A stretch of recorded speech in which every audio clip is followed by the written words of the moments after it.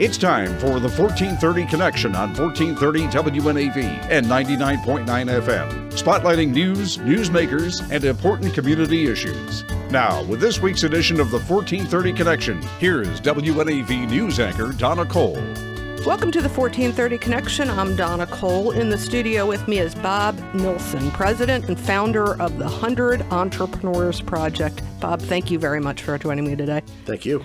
The 100 Entrepreneurs Project, it's a Maryland based nonprofit. The mission is to provide, and some of this is going to come off the website, wounded veterans and their caregivers and families with stepping stones to their next careers.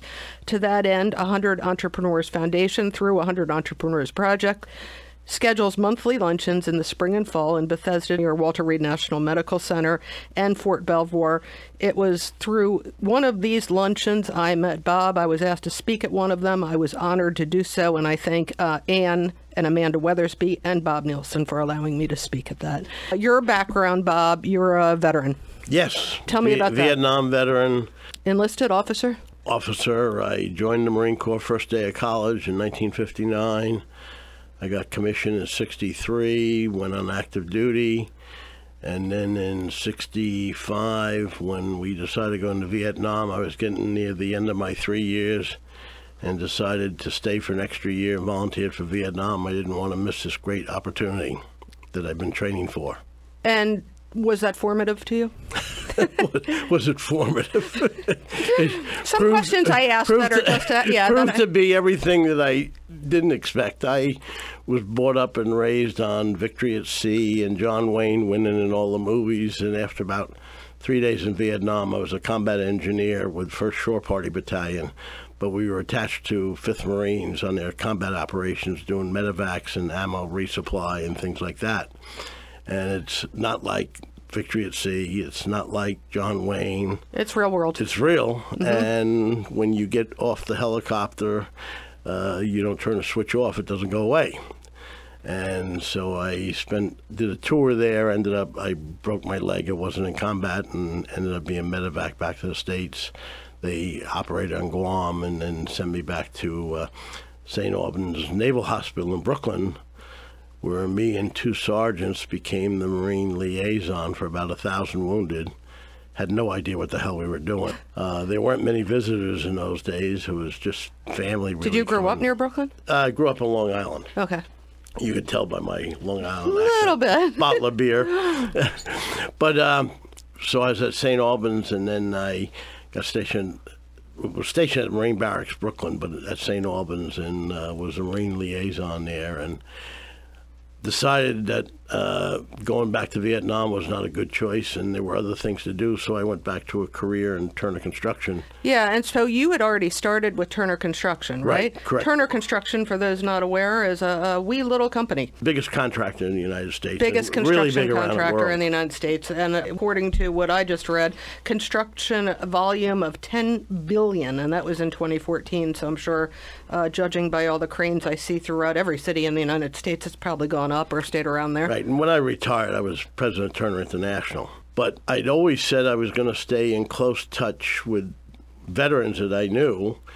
And other than a handful of friends, and then I started going to reunions, I never stayed in touch with the wounded.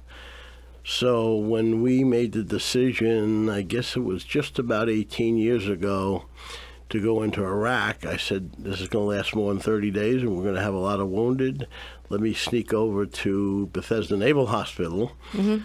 sneak in the back door, talk to the Marine liaison, and go up and visit some of the wounded. I was afraid we wouldn't have visitors with this war like Vietnam. It would only be family again. So was out- your original intention just Marines or anybody? no, anybody coming in, anybody wounded, but I went through the naval system because that's what I knew. I later on, through an army buddy that lost a leg in uh, Vietnam, went started going to Walter Reed, and then I started going to both. And what became a visit a couple of times a month became four or five days a week going in to see the wounded. Do you remember that period of time where you were getting out and wasn't sure what your future was going to Well, be? I, I was getting out, but I was an engineer and I joined Turner Construction before I went to Vietnam. So you already had a good idea. So. I had a pretty good idea what I was going to do. But something in you knew that a lot of people didn't know what they were going to Oh do. Oh yeah, and and I knew that from my experience in the military and my experience in staying in touch with it after I got out, it's a big jump to go from being in the military, particularly when you're a young man or woman, 21, 22 years old. Many come from homes that are somewhat dysfunctional. Mm-hmm. The only really good home they've had has been the Army, Navy, Marine Corps, or Air Force, or Coast Guard. And they've provided some stability for them. Stability and schedule. And oh yeah, absolutely.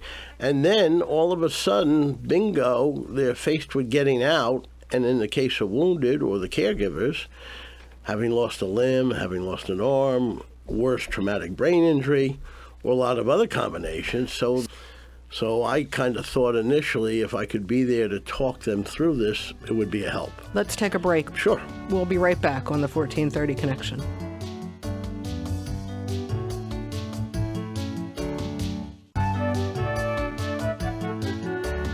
Welcome back to the 1430 Connection. I'm Donna Cole. In the studio with me is Bob Nilsson, president and founder of 100 Entrepreneurs Project, a Maryland based nonprofit. The website is what, Bob? 100entrepreneurs.org, and it's uh, you can we're on Facebook also. Just Google uh, or search 100 entrepreneurs, and you'll see us. We have a group and Twitter, yeah. too. I saw you. I yeah, found you on, on Twitter. Yeah, we're on Instagram, and we're on a bunch of things. Do you mind me asking how old you are? Almost 79. And um, that's you on Twitter. That's your own personal account. Oh, yeah. And you do tweet from. Oh yeah. Yeah, you like I Twitter? Tweet. Oh yeah. I, I like Facebook much more because I found the wounded veterans and their caregivers.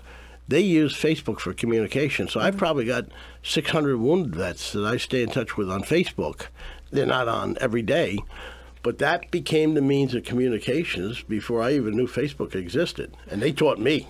You recognize that there's going to be some people coming out of war that are going to need some help. Right. And what, what I started doing initially, I got together with a lot of friends in a group called Urban Land Institute. It's a big real estate group, and mm-hmm. we raised a couple hundred thousand dollars and started with scholarships.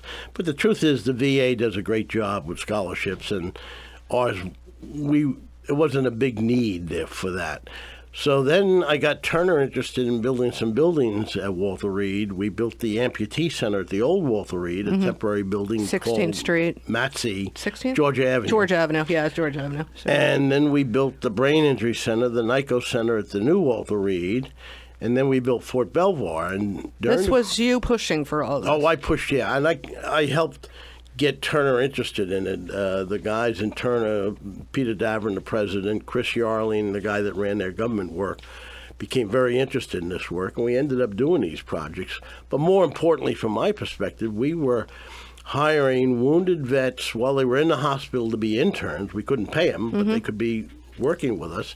And then we started hiring them for career jobs uh, when they got discharged. When they got their medical discharge, we gave them career jobs, and we got 35 or 40 vets working for us or our subcontractors or our owners At Turner. at Turner career positions. We had single amputees, we had double amputees, and vets came in, uh, triple amputees uh, come in and start working with us, and we were able to get them career positions. Um, and sometimes they stayed with Turner. Sometimes it led to other positions with other construction companies or different fields. But heck, having that But on was- your resume. It filled to- the void. Yeah. Exactly right. And I would take groups of wounded vets from uh, Walter Reed Hospital down to Fort Belvoir, which was a billion dollar and a half, billion and a half dollar hospital we were building, and take them out literally in wheelchairs and crutches, and show them the project we're building. and it began.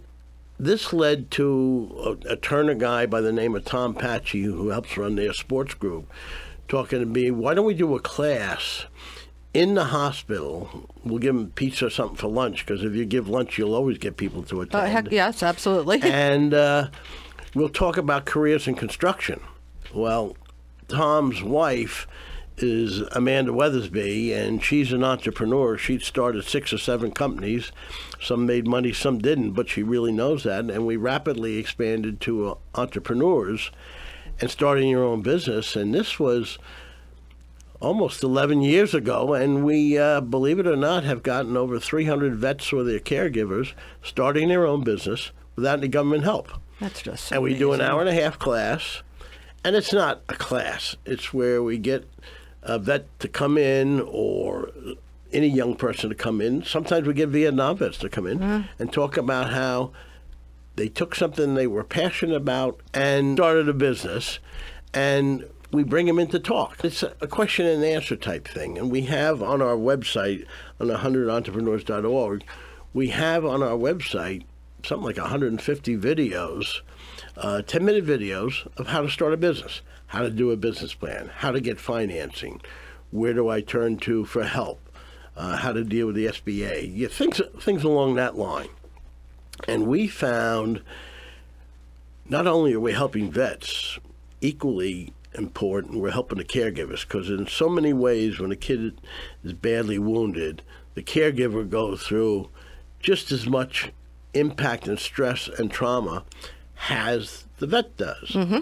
So And they want to start businesses. If wounds aren't always visible, right? Well, and So not only that, just because the visible part is healed, the wounds stay internally. There's trauma, and you live with that. Right. And the whole thing of what has been called post-traumatic stress disorder, which we now try to term post-traumatic growth, or better yet, we've worked on uh, with people from All Marine Radio something called post-traumatic winning Yeah.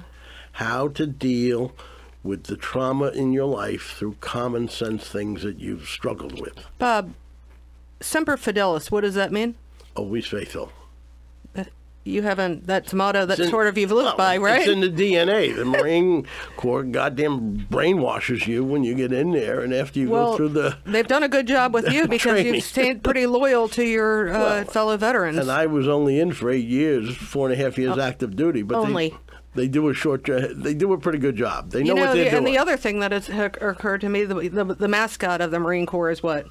Bulldog. You d- who, who won't give up with an idea, right? and my, my wife trains French bulldogs and takes them around Anne Arundel County for all the kids in schools for humane education. Yeah, you don't give up, and you've remained always loyal. We're going to take another short break. We'll be right back on the 1430 Connection.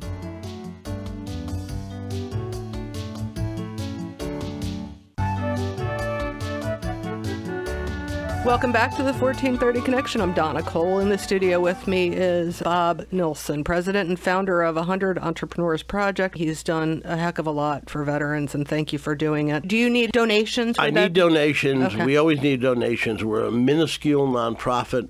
We operate on uh, peanuts, but we do need donations. We want to keep this going. We want some of the, the vets from the last 18 years to help run this business going forward. We're looking for speakers, and we're looking for sharing the word. Get the word out. Send your friends. Share our information so people will look at our videos, look at our, listen to our podcast, and learn about how do you help a vet that's in the process of getting out of the service and trying to figure out what they want to do with the rest of their life. And for those veterans that Men or are women, yeah. officer enlisted, we don't care. You're all in the same boat. You're trying to figure out how to get going in another direction.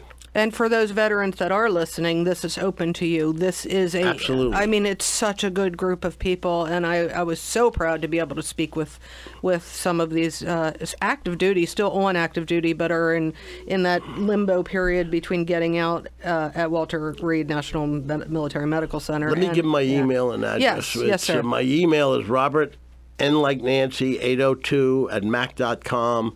Uh, my cell is 917 403 8807.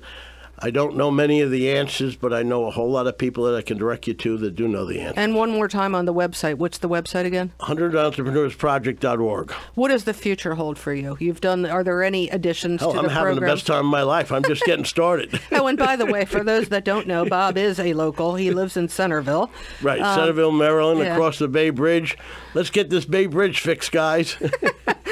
All of us want that on both sides of the bridge. All of us want it, but I, I know uh, Kent Island probably more so than others. We're suffering. With, yeah.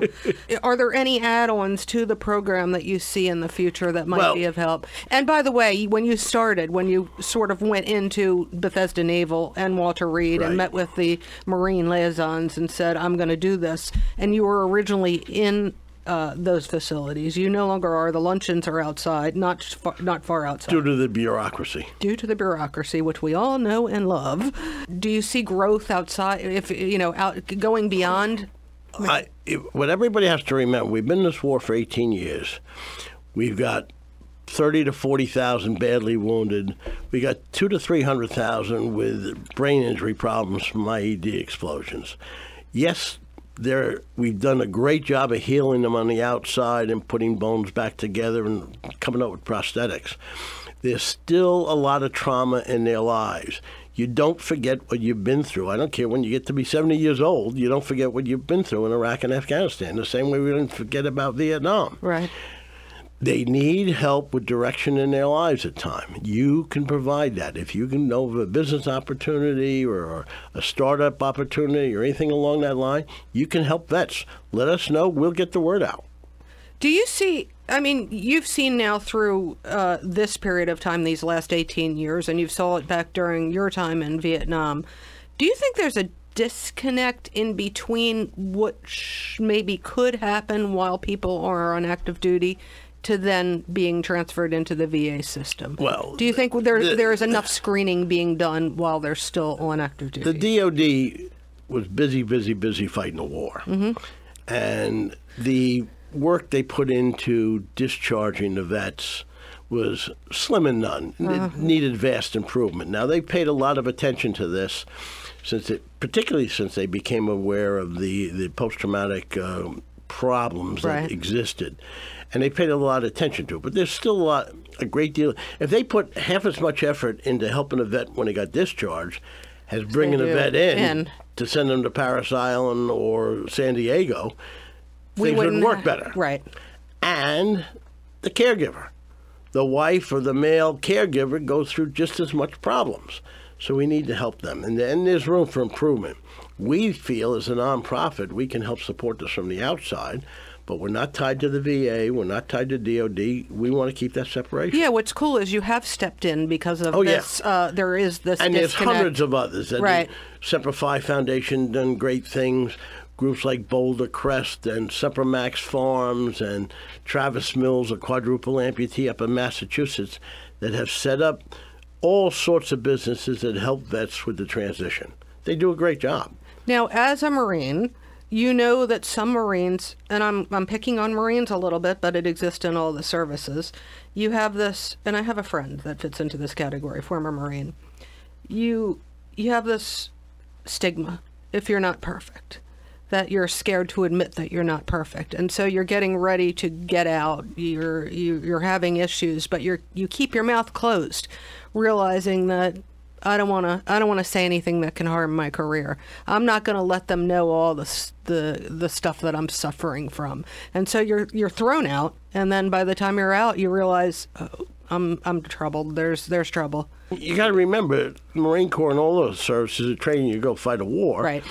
And they got to make this emphasis. But once you get in war, you realize that war is far from a perfect thing, and all sorts of crap goes on. And you're going to have to deal with it the rest of your life. You can't hide it. You absolutely can't hide it with alcohol and drugs. That doesn't work. So there's ways to deal with it. And we found uh, all you got to do is go out and Google the Ten Commandments of Post Traumatic Winning. It's been put together by a guy named um, Michael McNamara, retired Marine, and it's a it's on All Marine Radio. It's a podcast, but it really, really works, and it helps deal with the trauma that you've been through. Even though you've done a great job of hiding it in a black box and putting it in the back of the closet, it helps you know and understand it, and it gets you sharing what you've been through with others. But more importantly, reaching out to help others. So That's the- the key. For those that are on active duty right now that are listening to this, what would you say to them if they are suffering silently? I would absolutely go Google All Marine Radio post traumatic winning and take a look at the. I think it's uh, Should they be bringing this to their chain of command? hell yes. Okay. of course. And on that note, Bob, thank you very much for joining You're me today. welcome. Thank I you. really appreciate all you do. This, Thank you. this is Donna Cole on the 1430 Connection. We'll see you next week.